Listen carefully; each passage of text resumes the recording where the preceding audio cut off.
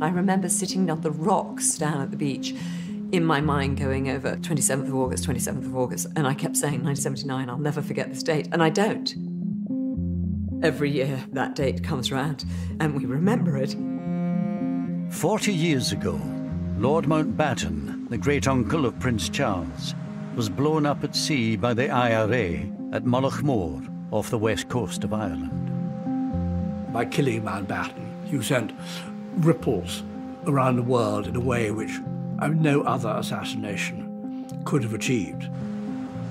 No member of the British royal family had been murdered by terrorists within living memory. At the time, I could not imagine how we would come to terms with the anguish of such a deep loss. Three others were killed on the boat, including two teenage boys.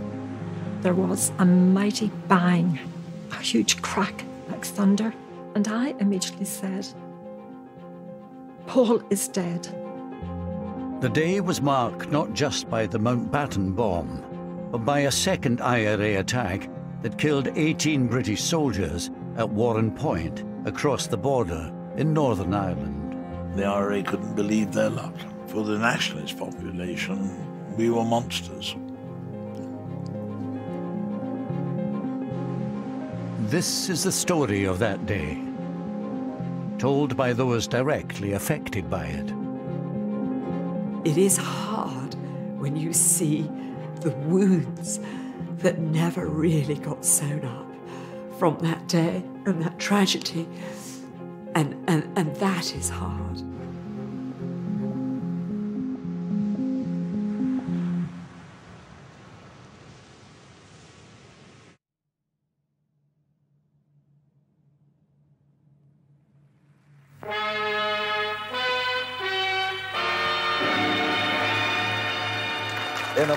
Minutes from now, I'll know whether or not we're going to succeed in telling the exciting story of a man whose courage and daring in the war and far ranging influence in peace have significantly contributed to the shaping of this century's history.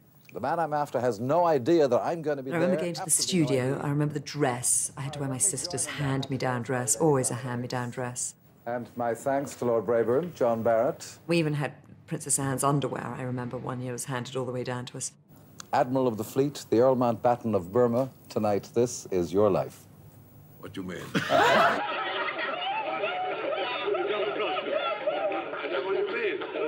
Inside here, we have a whole host of surprises for you. Amazing that they managed to pull that off.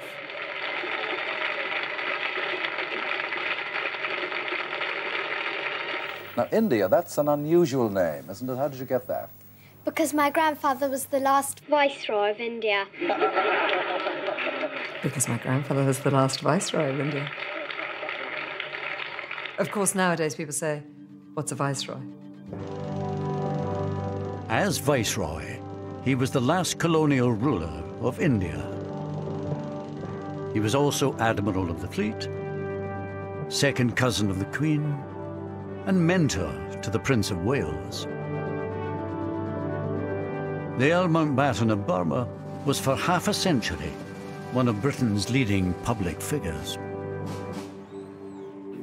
Can you bear having hot milk in it, or, or would you rather not have milk in it? In retirement, he spent more time with his family, but he still enjoyed the public spotlight so much that he allowed an ITV crew to record his annual summer holiday in Ireland, even if it meant compromising the family's privacy.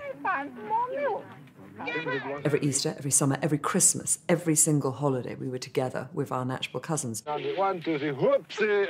Classiebawn was always in the summer, a month in August. Yes, twins, where are the twins?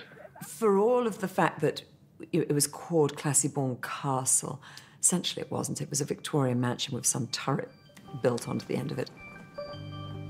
Lord Mountbatten inherited Classiebawn Castle from his wife, Lady Edwina, who died in 1960. There were so many wonderful traditions.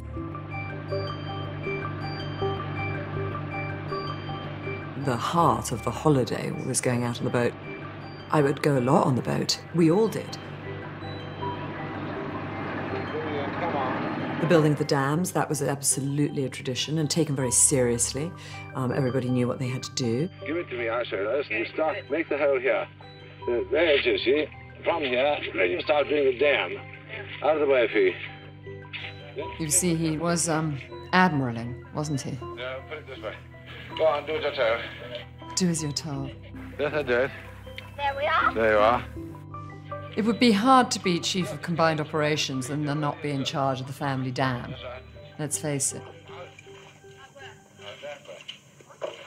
The Mountbattens were generally viewed by the locals as benevolent, well meaning, helpful people who it was nice to have around. The neighbourhood benefited as a result of their presence. Each summer, the Mountbattens would take up residence at Classiebawn Castle, overlooking the pretty fishing village of Mullaghmore. The family's visits brought a touch of glamour and jobs for the locals. This photograph here was in the dining room of Classiebawn at a, a dinner. It's just me there. When you look back so many years ago, it's now 40 years, you can always say the memories of, of them are happy ones. And that's the most important thing of all. Do you remember this mother?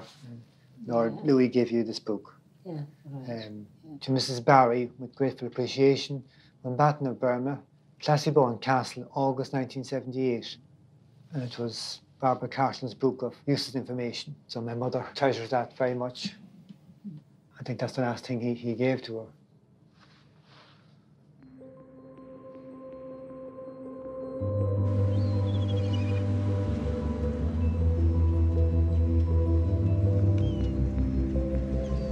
The Mountbattens were not alone in their attachment to Mullaghmore. There are my three children at Mullaghmore. That was Paul and his two sisters. Mullaghmore was a popular holiday destination for families from Northern Ireland, as well as the south, and the Maxwells from Enniskillen had their own cottage there.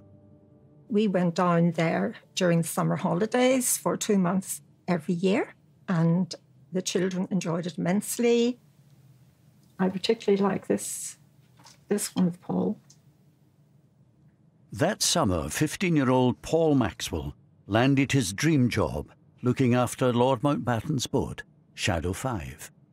I think they had a nice relationship. Paul would sometimes stay on the boat afterwards with Mountbatten and they would talk. And he told Paul about going into the Navy. And he said, You know, I went into the Navy when I was 12 years old, and I saw active service when I was 16. And Paul said to him, Were you not frightened, my lord? And he said, Yes, but you didn't show it. And you can see Classiebawn in the background there, in the distance. Classiebawn itself had been a fairly early example of what you might call sort of English colonisation, uh, in a sense that quite clearly they were intruders. The Irish obviously presented Britain as such and wanted us out. The Mountbatten summer retreat was in County Sligo, in the Republic of Ireland. Mullaghmore was only 13 miles from the border with Northern Ireland, where in 1969 a bloody conflict broke out.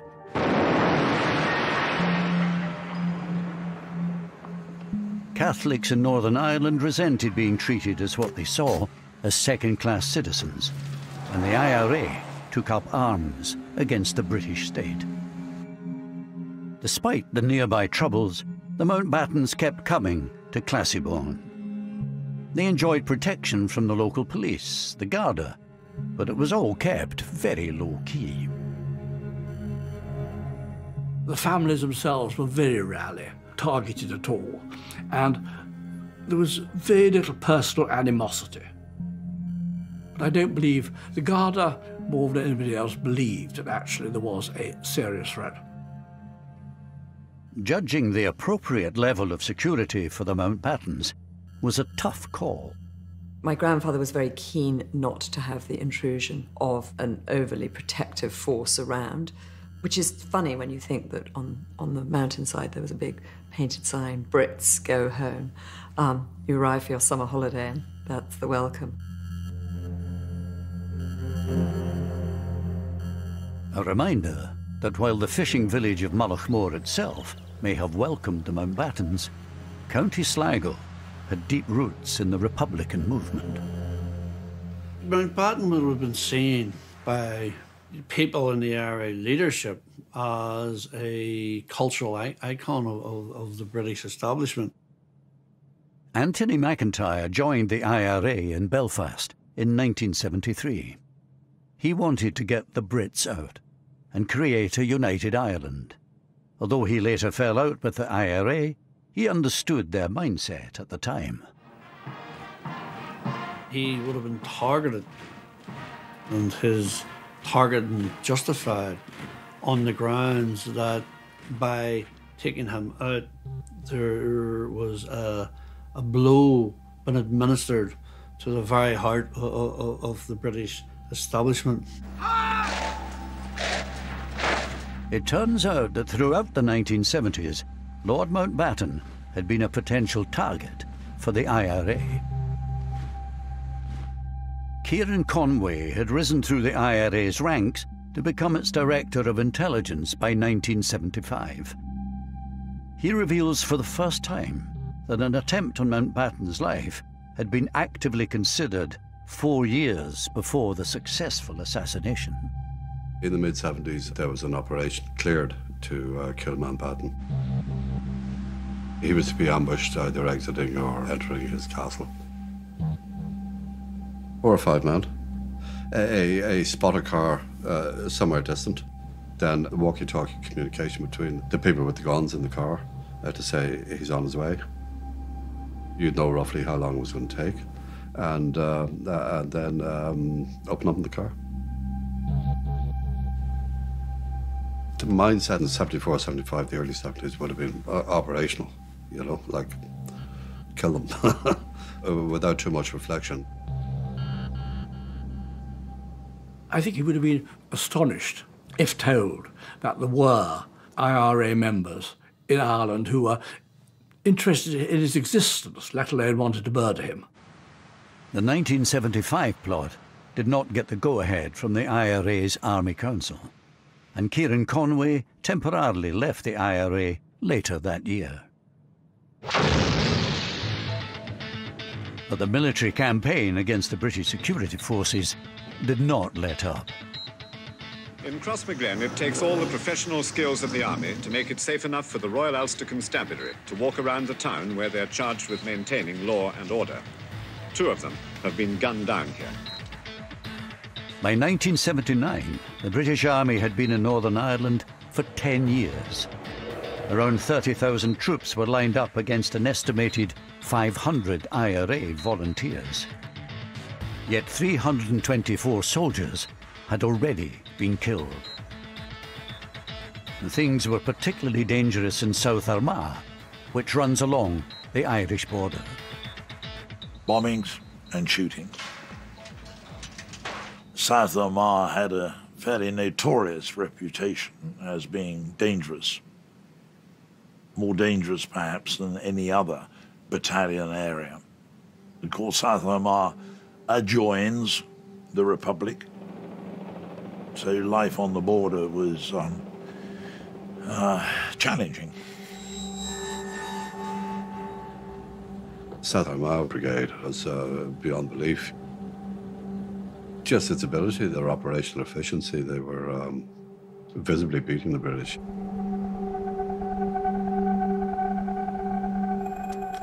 In the summer of 1979, the South Armagh Brigade was plotting two of the most ambitious attacks of the IRA's campaign so far. One in Warrenpoint, the other just south of the border in Mullaghmore. There, during the night of the 26th of August, the IRA planted a remote-controlled 50-pound bomb on Lord Mountbatten's boat, Shadow 5, sitting unguarded in the harbor.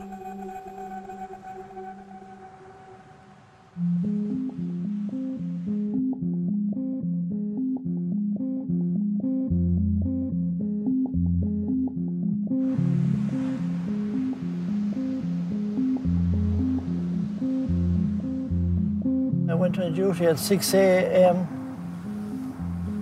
up at the castle here.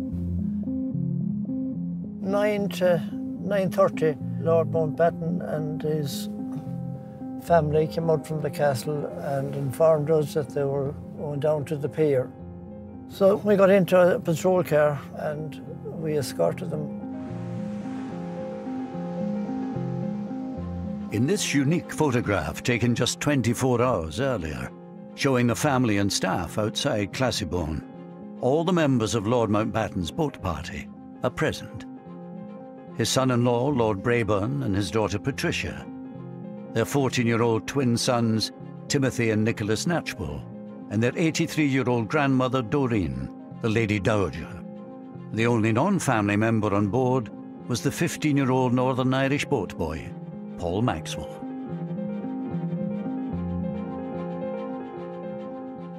The day itself comes to me in flashes, rather like small explosions. I remember distinctly sitting in the library with my brother.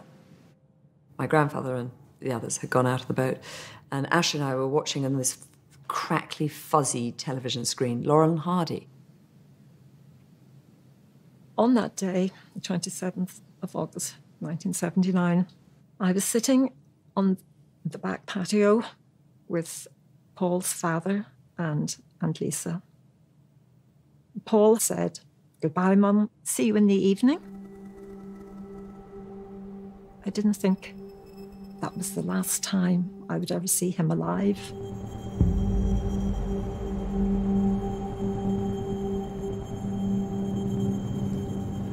Beautiful morning it was, sun was shining. They left Mullaghmore Pier and travelled out to where they had some lobster pots.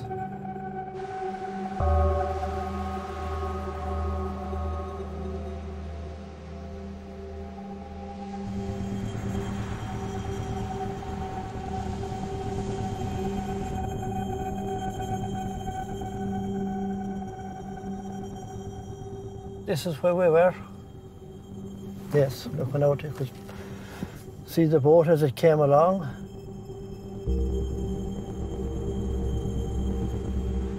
Dennis Devlin was a 15-year-old whose family came to Mullaghmore every summer. Their caravan was parked just off the coastal road. I seen his boat and I recognised it. Well, there's a green with a white cab and I just recognised it was his boat. As they come in, I could hear them talking, talking among themselves. As the boat pulled up, I remember the young fella over the side of the boat pulling in the lobster pot and slowly pulled it in. The boat had turned round towards me and I was just watching it and I knew it was Lord Mountbatten's boat. The next thing, everything was spewing up into the air. Everything just rose up and I knew it was an explosion. Suddenly there was a flash of light and a loud bang. And you could see the boat had just disintegrated. It was obvious that a bomb had gone off. There was a mighty bang, a huge crack like thunder. And I immediately said, Paul is dead. And I knew he was dead because I felt a part of me go.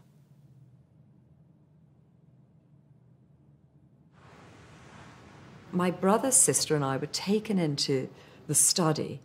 And before anything, we were asked to take these pills with a glass of water. I'd never taken a pill in my life before. And that, to me, was more surprising than anything of that day. I couldn't understand why I was being made to take a pill. Again, I think it's so reflective of the era that they were in, in the 1970s, that you would someone would have had Valium on them for God's sakes and said, let's give it to the children. I mean, dear God, would you give an 11-year-old a Valium?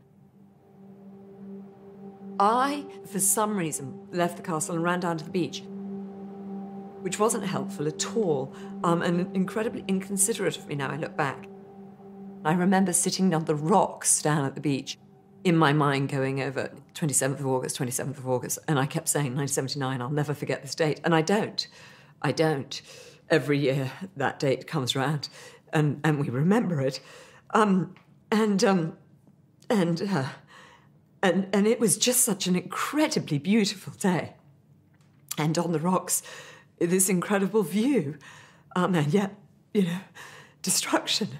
I'm so sorry. I don't. I don't normally get upset.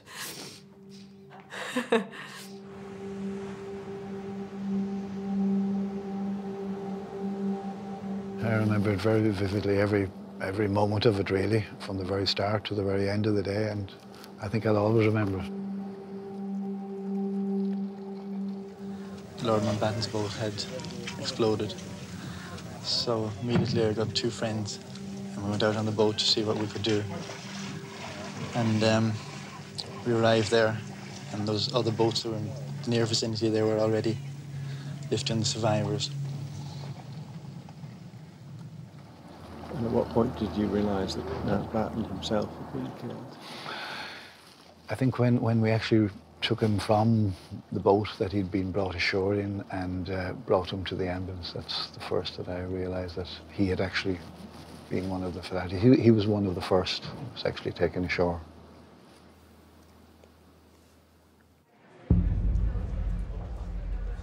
It was a perfectly ordinary day, that August bank holiday. I was helping to put together the lunchtime bulletin for Radio Ulster.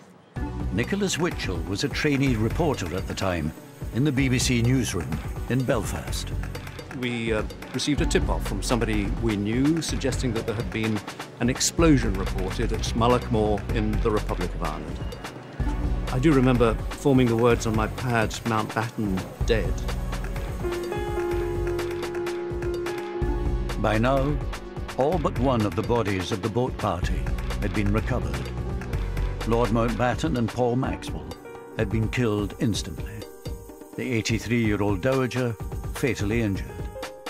The parents of the twins were also seriously wounded, as was 14-year-old Timothy. His twin brother Nicholas was still missing.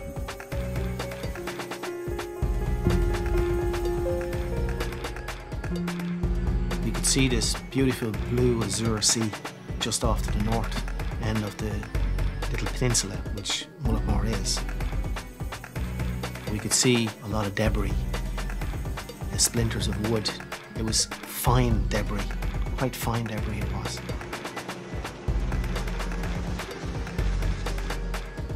I was winched from the rescue helicopter. I was placed into the water beside what looked like the bubble of an anorak. I placed my hand and pulled it, and it didn't yield very easily, and I pulled it a second time. And it was then the head come up with the jacket as I pulled, and I realised it was a child. Imagine what those thick Aran sweaters must have felt like clogged with oil and water being lifted out of the out of the ocean and you know how long had Nick been floating in the water, you know. It was the first child that I handled in death. It came as a, a terrible shock to me, I can tell you, but I'm in rescue mode. I need to get him out of that water. I need to give him over to his family. 14 year old Nicholas Knatchbull's body was returned to Mullaghmore Harbour. It's uh, the last photograph we have of Paul. That's Paul. And that is Nicky and Timmy. So one boy survived and the other two were killed. He survived because he was up on the roof. Mountbatten was in the middle between Paul and Nicky. And so they got full blast.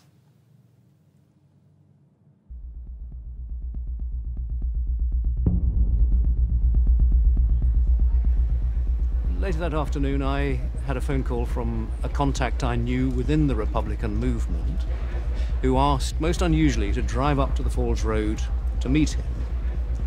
Opened the door, he got into the car, sat down beside me, we drove on. Then he reached into his mouth like that, and drew out a small scrap of paper which was wrapped up in cling film, unwrapped it, and this was the a telex message which contained the IRA claim of responsibility for, as they put it, the execution of Lord Mountbatten. The choice of the word execution is very deliberate.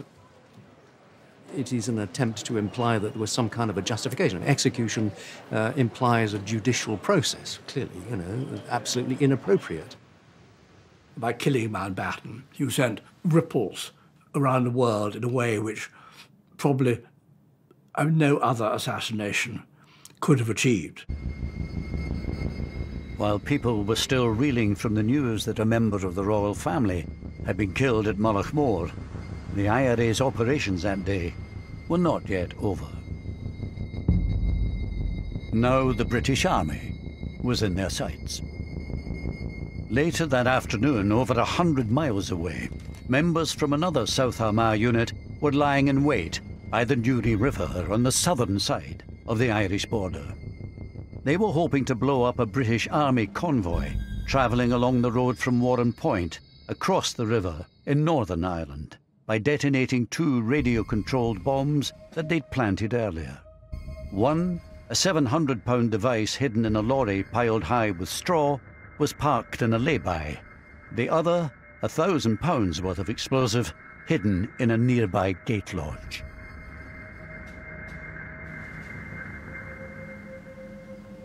Travelling down, I remember messing about with a car behind us. Tom Caughey was a local boy from Newtownards who had joined the parachute regiment at 18, as his father had before him. That day, he was a passenger in the lead vehicle of the two-truck convoy with a packed lunch and with oranges, and we made little teeth out of the orange, you know. And there was a, a car with a lady and kids in it. And we were smiling at them, you know, that type of banter. Ten minutes later, we were blown up.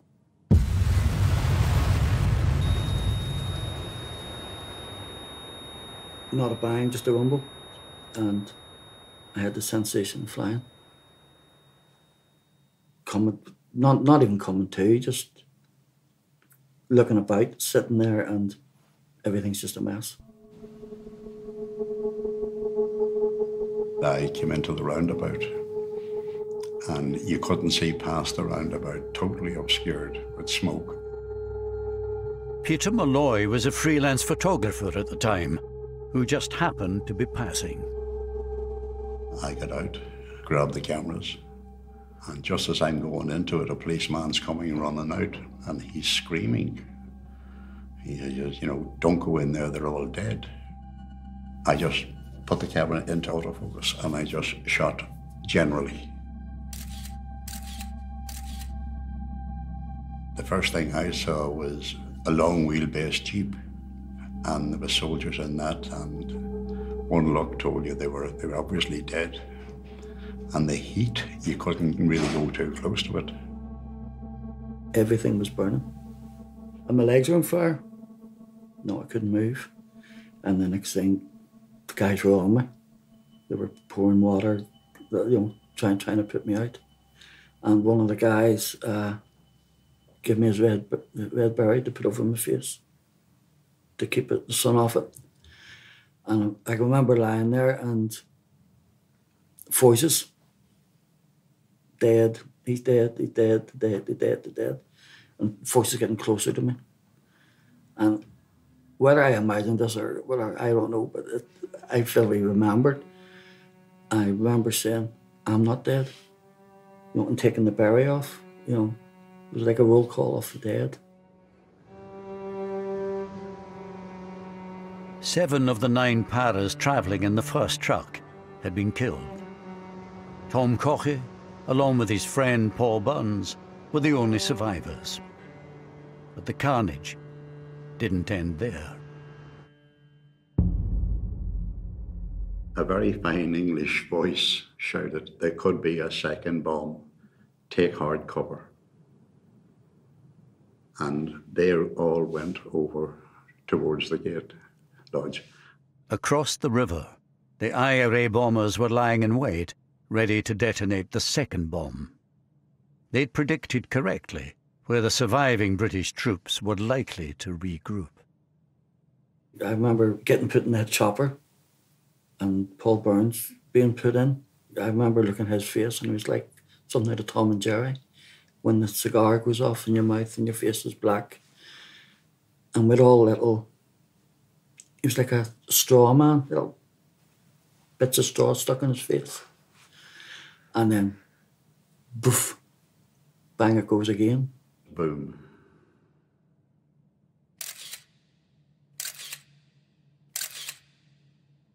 I was thrown back and I got up again and it was over. Basically, it was over.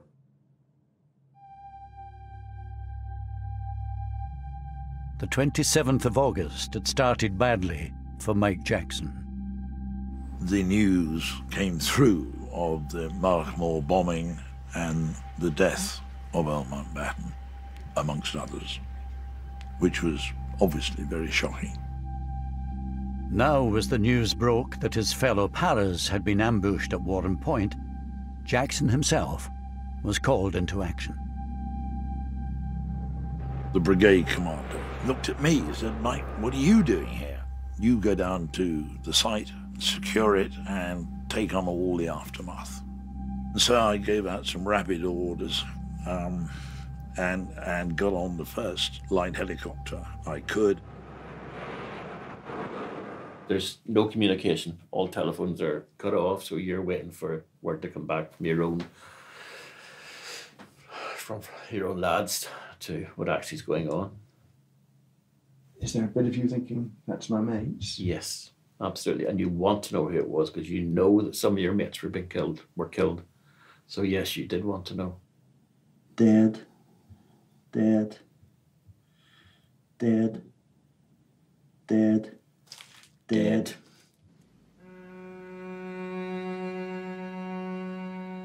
A further 11 British soldiers had been killed in the second explosion.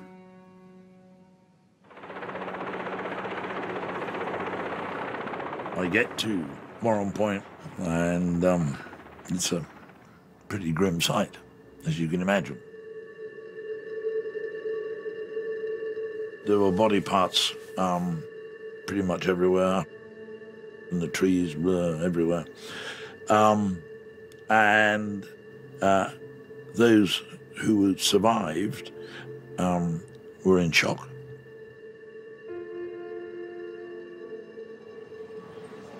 It was absolutely obvious, right from the earliest point, that this was a death toll on an exceptional scale. It transpired, of course, that 18 soldiers had lost their lives, the greatest single loss of life that the British Army had uh, suffered in Northern Ireland.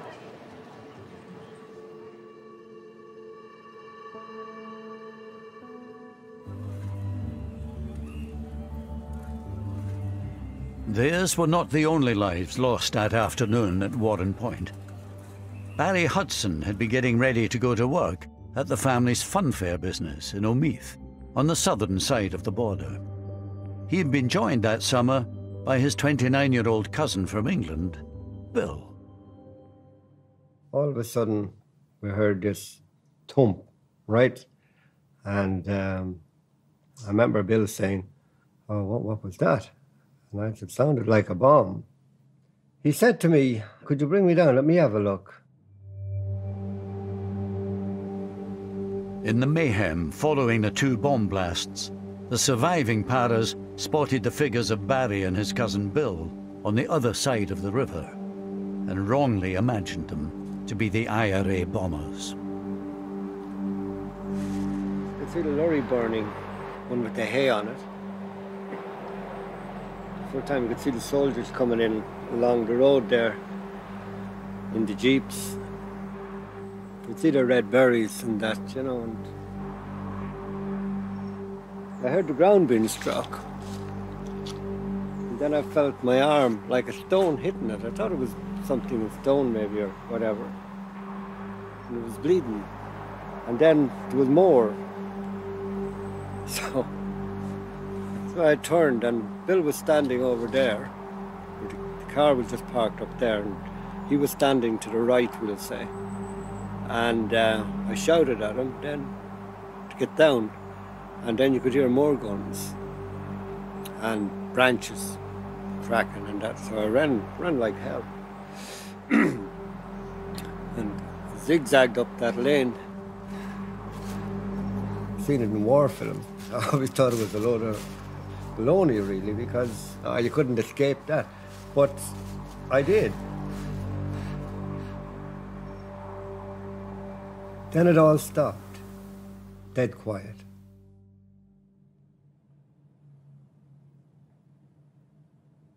So after about a minute or two, I thought my cousin should be coming up now. I, I just thought he'd get up and come back up. I looked around the corner and um, I seen him lying on his back and uh, blood, a lot of blood. And um, I, uh, I ran down to the car. I knew when I seen him, it's nothing, nothing anyone can do for him. The lad pulled the trigger, I'm sure he was shell shocked. wasn't didn't enter his head for one instant, you know, not to pull that trigger. And uh, I think we would all have done the exact same thing in that situation.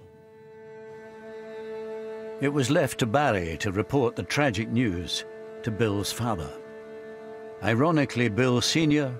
worked in Buckingham Palace as one of the Queen's coachmen. I said, oh, terrible news, Uncle. I said, Bill's dead. Oh, dead? Huh? What happened? How'd he dead? And I said, he got shot. I said, how'd he get shot? Terrible. Terrible. Just one of the worst moments of my life, actually. Something I wouldn't want anyone to have to do. The army later acknowledged that Bill Hudson was an innocent civilian, mistakenly killed.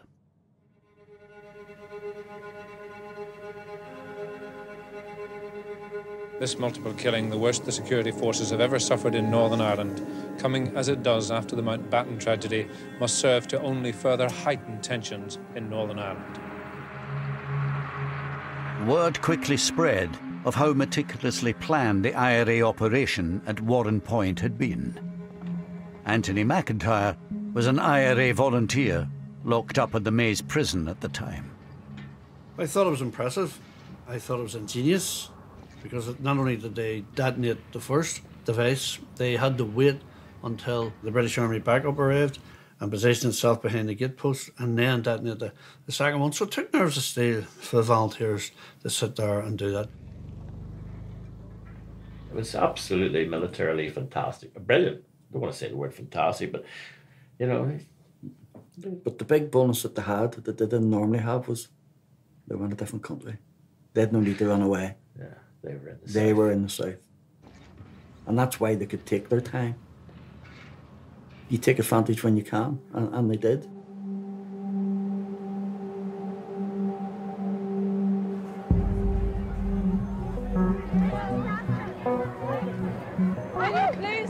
Still and I will move? The attacks on Lord Mountbatten and the British soldiers made a deep impression on Mrs. Thatcher, who had been Prime Minister for only four months. Within 36 hours, she landed in Northern Ireland on an unscheduled visit to investigate what had happened and to offer reassurance. When she went to Northern Ireland, I remember the walkabout in the shopping mall, um, which I thought was an extremely brave thing to do.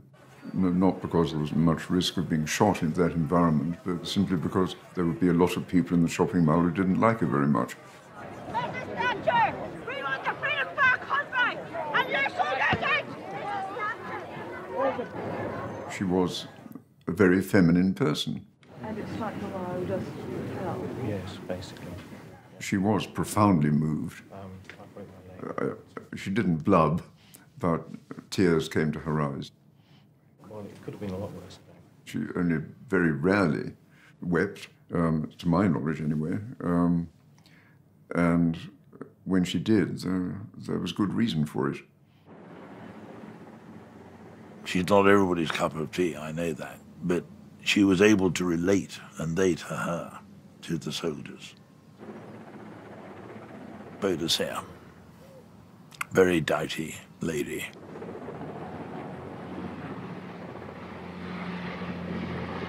I think, in terms of significance for Margaret Thatcher, knowing as we do what we do about her personality, I'm sure that it actually made her even more determined to resist.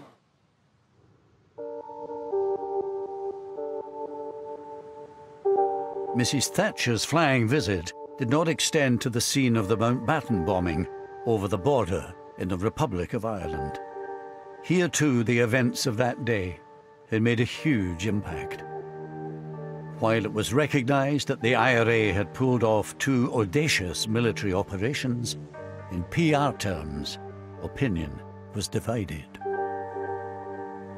Almost everybody spoke with regret and shame about what had happened to Mountbatten.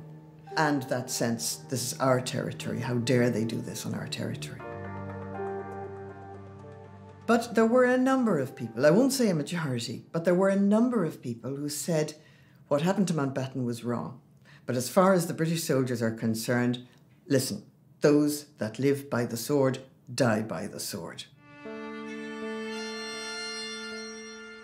This feeling was reinforced by the fact that 16 of the 18 British soldiers killed at Warrenpoint were from the Paratroop Regiment. The Paras were deeply unpopular on both sides of the Irish border, thanks to an infamous incident that had taken place seven years earlier. There is no other single incident in Northern Ireland that unites nationalists of all colour, north and south, like Bloody Sunday does. Because to us, it was the deliberate killing of peaceful protesters on a march in Derry. 13 civil rights protesters were killed on what came to be known as Bloody Sunday. Here was the British Army turning its guns on the people it called its own citizens. And the soldiers responsible for Bloody Sunday were the paratroopers. So there was a particular feeling of, of general dislike towards the paratroopers. This dislike was felt particularly strongly by the IRA volunteers locked up in the Maze prison at the time. And how would you characterise the reaction of you and your fellow prisoners to hearing about the Warrenpoint news? Exuberance, exhilaration. Uh, all our Christmases had come at once and come early. The IRA couldn't believe their luck. For the nationalist population, we were monsters. We were quite ruthless, quite quite callous, quite indifferent to the suffering uh, uh, uh, of, of the relatives, and found the parachute regiment absolutely anathema. They were celebrating, and of course they were. And, you know, they had a good day. And doubly good in the sense, you know, with the memory of, for them, the memory of, of Bloody, Bloody Sunday. Sunday. Yeah, of course, yeah. Yeah, what's where the old saying come out, you know? 13 dead, not forgotten. We got 18 on my Mountbatten. There's a quote for you. Very good. Not, not necessarily the guys who put the bomb on or the guys who made the bomb, but the people who planned it certainly knew about the children. And if they knew about the children and were quite prepared to go ahead uh, and to sacrifice their lives in order to get Mountbatten, then it's a war crime. Although Anthony McIntyre has since fallen out with the IRA, back in 1979 he was still very much an insider. Given the political sensitivity around Mountbatten, and the fallout that the IRA leadership, the political thinking people in the IRA leadership would have anticipated. I would imagine that was a, uh, a, a decision taken at the most senior levels. Kieran Conway, who temporarily left the IRA in 1976, is in no doubt as to who was in charge at the time of Mountbatten's assassination. I've absolutely no difficulty in saying that in 81 when I rejoined, and I wouldn't have said that in, in, until Martin died, uh, that McGuinness was chief of staff. And your clear understanding was that he had been since 78? Yeah. Ultimately, as chief of staff, it would be McGuinness's responsibility, that operation. Yeah, that's right, yeah. Oh, that's the way it works. I mean, if you're the boss, you're the boss. You take responsibility for whatever goes on.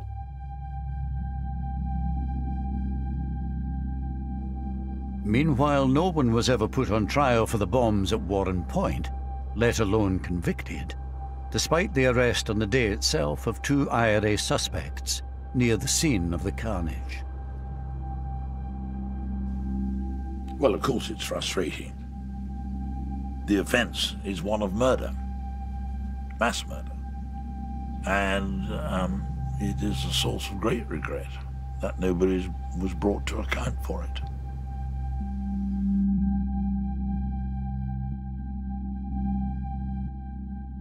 In these past few days, the irresistible force, the political will, has met the immovable object, the legacy of the past, and it has actually moved it. It took another 20 years after the Mountbatten and Warrenpoint killings, but peace was finally established in Northern Ireland by the British and Irish governments at the Good Friday Agreement in 1998. This agreement is good for the people of Ireland, North and South. As part of the peace process, the IRA's prisoners were released, including Thomas McMahon, the sole IRA member convicted of the killings.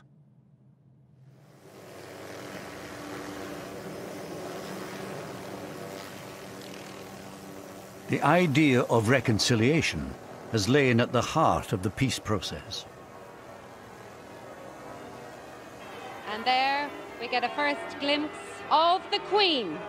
In 2012, the Queen came face to face with the man said to have been ultimately responsible for the assassination of her second cousin. You really did have to just pinch yourself and think, can this actually be happening? That the head of state of the United Kingdom and the man who, without doubt, was one of the leaders of the military, the offensive side of the Republican movement, who may well have had a hand in planning Mullaghmore or, or certainly signing off on it, that they were standing together was remarkable. The symbolic strength of that shaking of hands was enormous.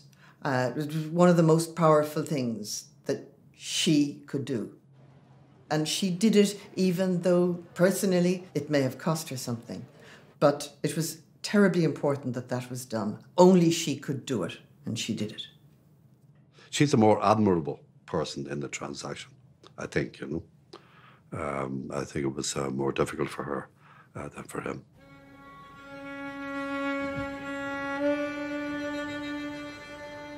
Like mother, like son.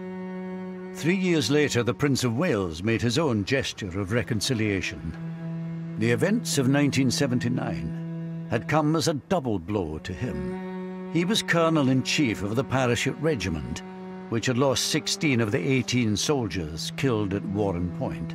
And at Mullaghmore, he'd also lost the mentor who meant so much to him. At the time, I could not imagine how we would come to terms with the anguish of such a deep loss, since for me, Lord Mountbatten represented the grandfather I never had.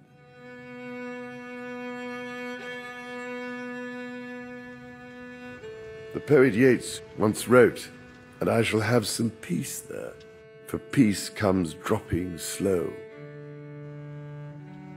As a grandfather now myself, I pray that his words can apply to all those who have been so hurt and scarred by the troubles of the past.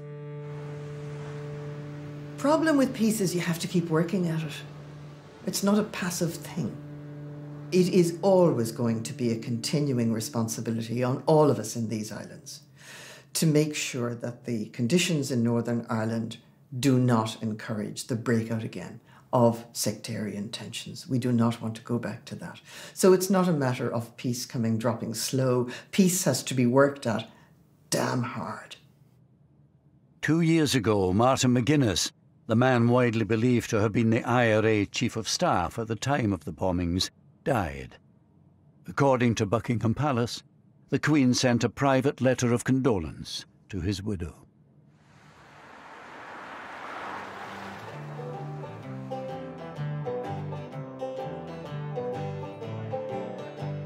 Today, for the most part, normal life has returned on both sides of the Irish border. But the sense of shame in the village of Mullaghmore lives on, especially among those who'd had close ties to the Mountbattens.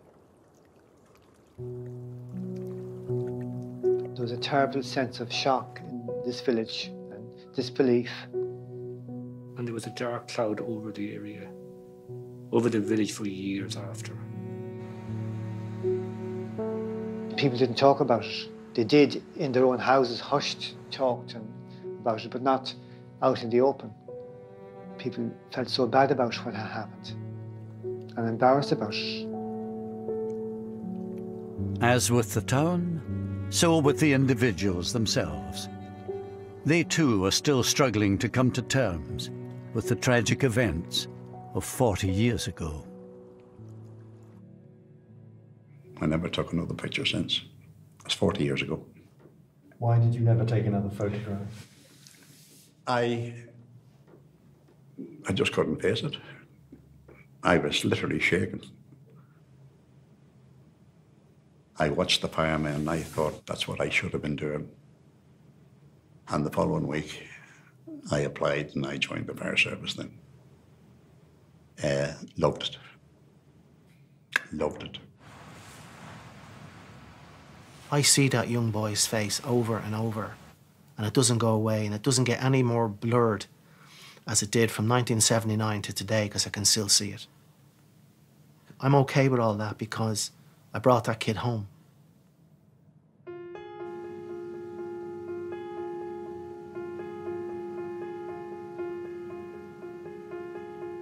That's 40 years ago, now.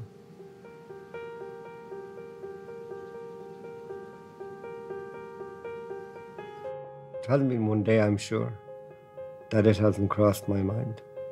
Sometime. And that's a long time for something to stick in your mind. Didn't feel lucky at the time. Didn't feel lucky for 10 years after. I wanted to be with them. Why did I survive? It was like a day that would never end. And then went on to weeks that would never end and years where grieving would never end. And it hasn't. I will always grieve for Paul. I carry him in my heart everywhere I go. I asked my mother about doing this, and, and she said, yes, absolutely, it's important to keep talking.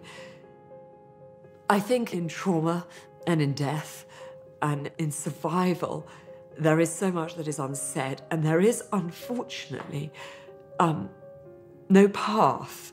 There's no written textbook of healing. And so, in amongst my seven cousins, who I am and remain close to, and my own siblings, everybody coped very differently. And some didn't cope well. And of course, we're seeing the side effects of that even to this day. And, and the damage that was done was so much deeper than any of us could ever have imagined.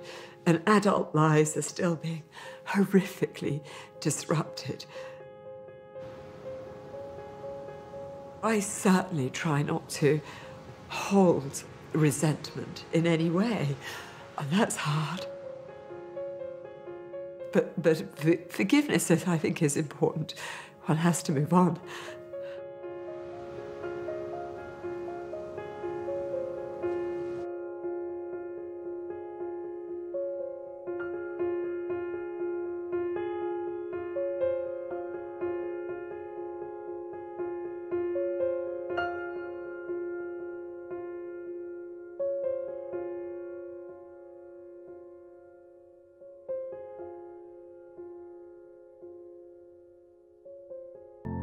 For the nationalist population, we were monsters.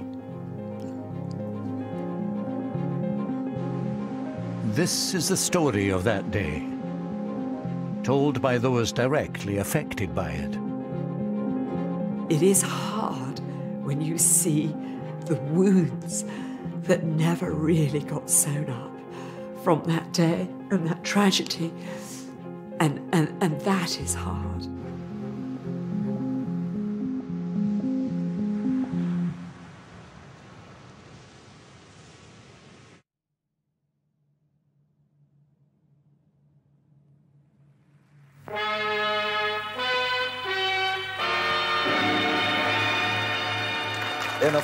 Minutes from now, I'll know whether or not we're going to succeed in telling the exciting story of a man whose courage and daring in the war and far ranging influence in peace have significantly contributed to the shaping of this century's history. The man I'm after has no idea that I'm going to be I remember there. going to the studio. I remember the dress. I had to wear my sister's hand-me-down dress, always a hand-me-down dress. And my thanks to Lord Brabourne, John Barrett, We even had Princess Anne's underwear. I remember one year was handed all the way down to us. Admiral of the Fleet, the Earl Mountbatten of Burma. Tonight, this is your life.